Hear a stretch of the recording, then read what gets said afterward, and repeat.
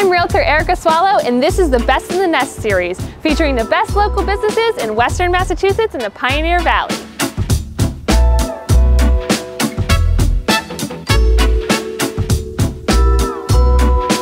If you're a craft cocktail lover, jazz aficionado, nightlife adventurer, or foodie bougie, come to Dewey's Jazz Lounge on Worthington Street in the dining district in Springfield. It's one of the best in the nest.